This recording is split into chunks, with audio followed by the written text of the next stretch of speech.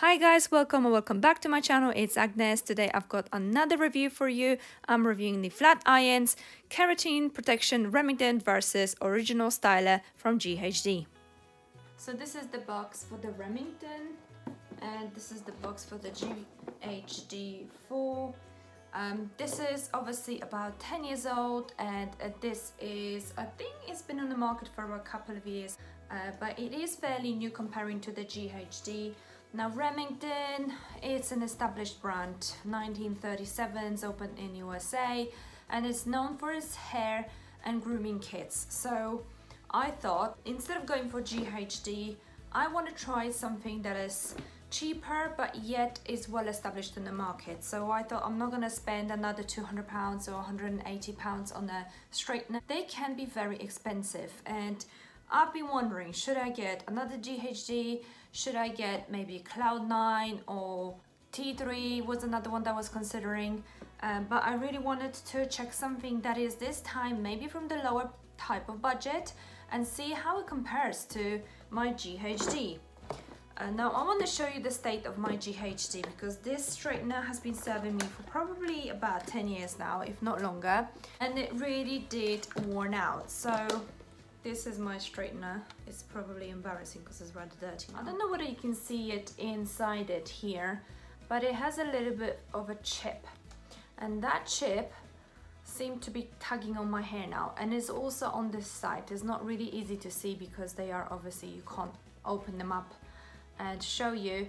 But yeah, it has various chips all over the plates and this is the indication that it's probably done its useful life. At this point in time, you can still get them for about 90 pounds. So this, they hold value. It's like Apple phones, right? They hold a value for a very long time. Now Remington here, size-wise is comparably the same.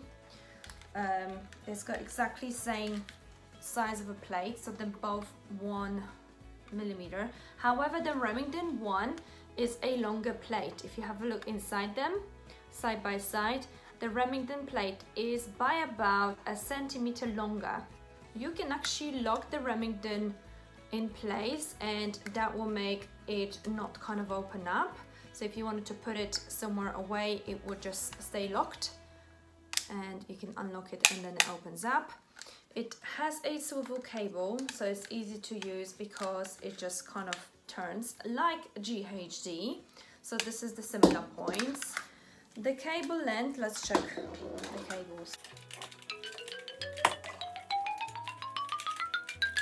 Yep, it has exactly the same cable length, which is 2.7 meters in both of them.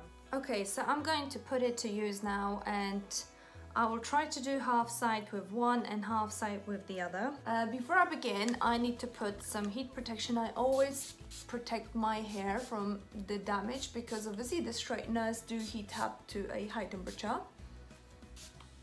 And I am using one from Poland, but I will link one below uh, that I have previously used. And to be honest, any heat protection would be sufficient enough. Because you're treating your hair with such a high temperature, I would really recommend you use some kind of heat protection. So you can see how frizzy and like wavy my hair is at the moment.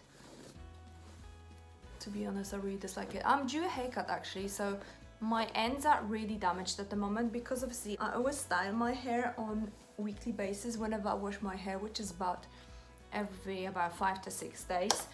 I tend to style it because I really don't like the way they are. Only when I know that there is nothing happening, maybe I will just let it be for a week the way it is. And yes, some people might say, oh, your hair is lovely and is wavy, but you know how it is. Whenever you have wavy hair, you want to have straight hair. Whenever you have straight hair, you want to have a wavy hair. It's pretty much the case that you're never happy with what you get. So you got to switch it on on the side here and then it will tell you when it comes on. Now, just to compare the like to like, I'm gonna set it at the 185 temperature, which is my other straightener as well just to kind of have like to like. Now this gives you 180, I don't know whether you can see that, or you can select higher setting of 200. Now 180 is closer to 185, so I'll leave it at 185. Ooh. I'll leave it at 185. And you gotta be careful because it is really easy to burn yourself, which I just did. Ouch. It never happened with my GHD that I've actually burnt my finger, but it is easily done with this straightener. So here, it is fine. It won't burn you.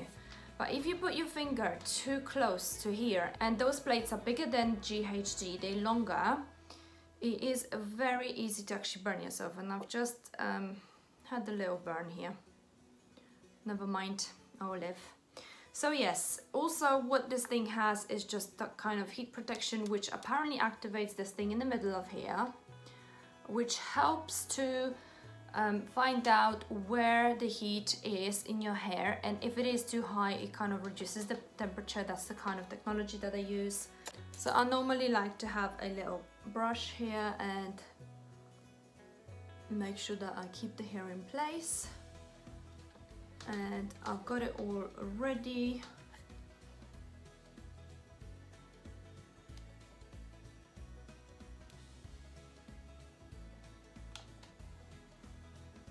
I pulled my hair. So I did notice that this straightener um, does pull on the hair quite a fair bit. Uh, and this is what my GHD started to do because of the damaged plates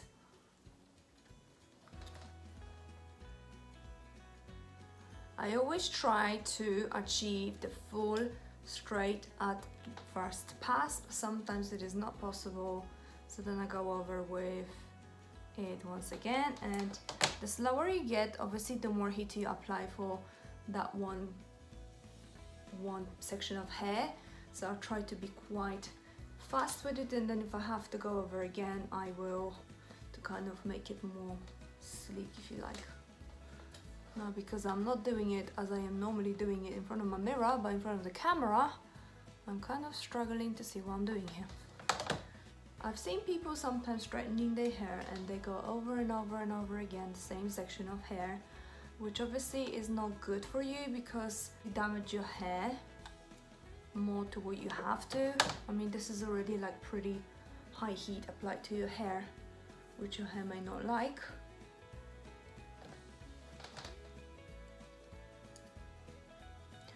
Whether you can guys see it very well. I can see this big building at the back of me.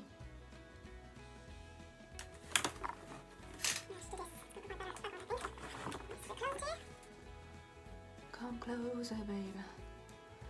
Right, so I'm pretty much done with this section. So again, I'm just going to take another section of hair and pin this one up and look crazy. There you go. I don't know whether you can guys see it very well. I, I feel like my hair is not really, not really showing very well. This straightener makes noise.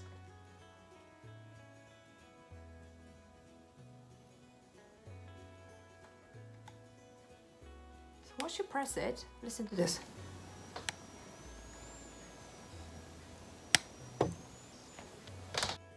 Does this kind of I don't know how to explain it but it does make a little bit of a noise. It doesn't bother me. Just makes makes a noise. It's not something that GHD does. But hey. right I'm going to now speed it up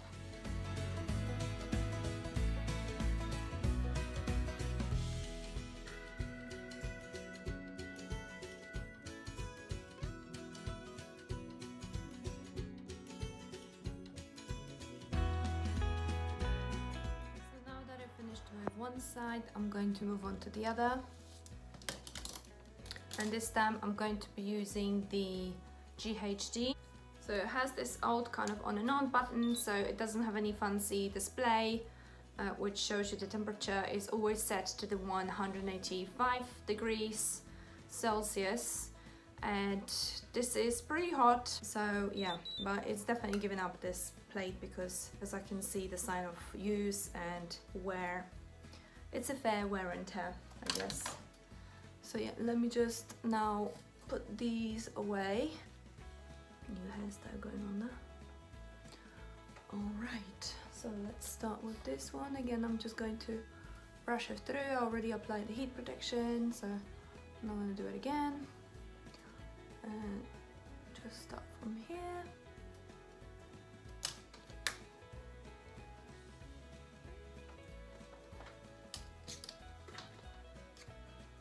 Why I was convinced that this straightener is at 230 degrees. But can you see the smoke coming out of it? I think it really does burn my hair. Besides, always when I straighten my hair, especially when it comes to the front of the hair, I'm not sure why, maybe they're a bit weaker or maybe I press a bit harder because at the front and I want to achieve like more perfect look at the front of my face. Um, there is always some kind of smell behind it. So I can smell that my hair is roasting, which is another thing why I wanted the temperature controlled hair straightener so that I can actually have a control over how high the heat is on my hair. So I can do it with one pass, but it's just because I'm talking, I'm just not focusing what I'm doing here. And it is a bit harder to actually look in the actual camera when you do it to when you actually look in the mirror.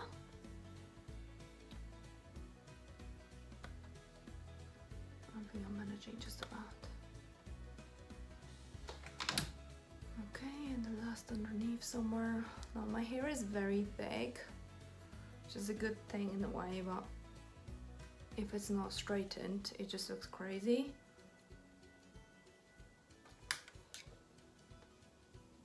I don't tend to bring the iron super close to my scalp because I don't want to burn myself and sometimes I do feel the heat too close to my scalp and it is kind of burning. Um, so that's why I tend to just kind of keep it a little bit off far away from my scalp. Obviously when I'm close to the front where you can see but my hair is is wavy it's not super curly so I guess it doesn't really bother me so much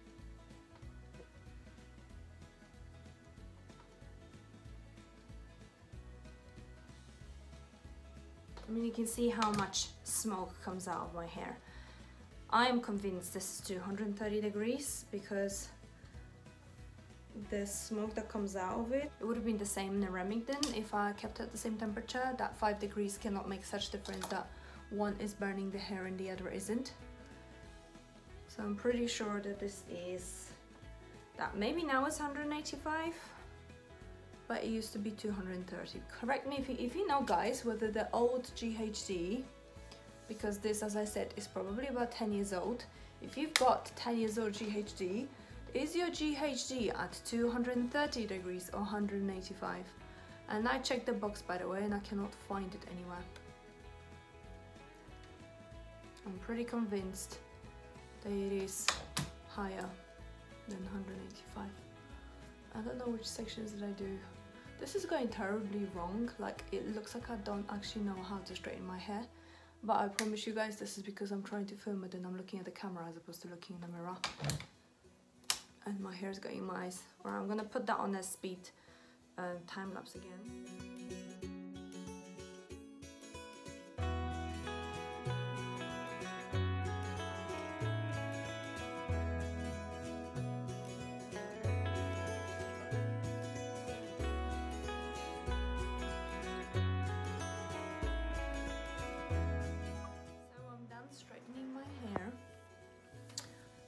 The Remington side and this is the GHD side. Now you must have seen how much smoke was coming from my right side, which are treated with GHD. What's this? Yeah, right side. And there was virtually no smoke coming out of this side and I am convinced that this the old type of GHDs used to be at 230 degrees. This was always what I believed. So to be honest, for 180 degrees and about two to three passes on each hair, I think this is pretty decent result. And this is a decent result too, despite my iron being so old now. But you have seen that my hair has been really um, getting the heat and I can do it with one pass. This is why I am still convinced that this is a higher heat setting to 180 degrees um, because I can manage to just straighten with one pass. Now after, I either go with oil, and I'm gonna try oil on one side. So I'll put like literally one little drop, and on my hair. It's probably gonna be too much for my hair anyway. And I'm just going to do this. and I'm going to show you I've got another product that I love using especially if you really want to get that shine in your hair so this is one side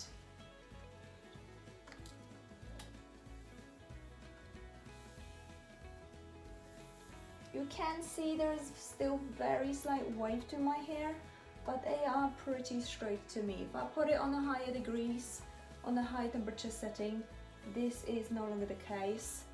In terms of tugging and pulling on the hair, I did experience very, very little of that.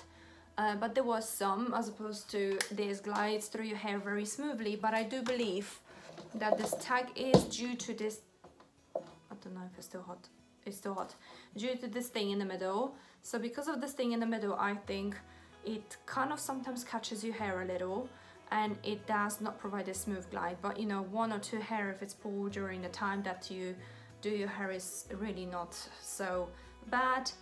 And as I was going to show you another product which I love using and I will use it on the other side which is this Wella uh, Glam Mist and I will link the products below for you just in case you were wondering what is it. So this has no really hold level it's not a hairspray to hold your hair it's a hairspray to make it um, shiny. So this is the hair right now. And I'm going to spray this. And I will use this just to show you how nice and shine how nicely and shiny this actually makes your hair look. I really love you may not see it very well here but it really does make you make your hair look really nice and shiny as I mentioned I've been using this for a 10 years this for about a month. I bought it about a month ago from Amazon. Again, links are provided in the description below if you wanted to check it out yourself. This was at the price 44 pounds. This is still at about a hundred pounds. So which one I score more?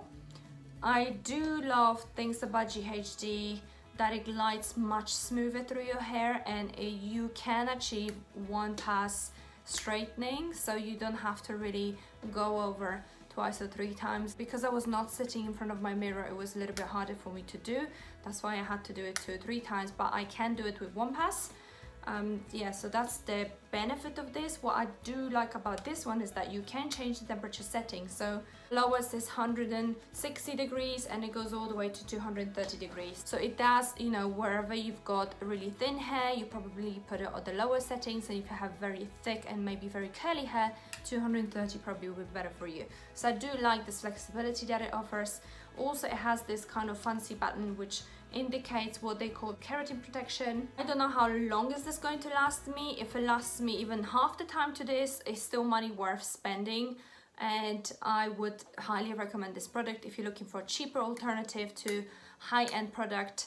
And again, Remington has been established in 1937. It's a product well known um, from USA. They do have a know-how in terms of straighteners, in terms of hair styling products. So definitely Remington is a brand that I would um, consider. Uh, yeah, GHD is the leader in terms of hair straighteners, but if you really have not got 200 or 180 pounds, this is obviously old one, you probably would go for maybe higher end product, which is platinum or uh, gold styler uh, you would end up paying somewhere around 150 to 200 pounds whereas this costs 44 pounds. If you get a deal you can even get it for probably about 40 pounds. So definitely do consider Remington if you're ever wondering which flat iron should you get um, and if you do not want to spend too much money go for it because it is a very good product. I can highly recommend it. So yes I did hope you enjoyed this uh, little comparison here and uh, you found it informative. If you did like it, please let me know in the comment below. Yeah, thank you so much guys for watching and I hope to see you soon. Take care.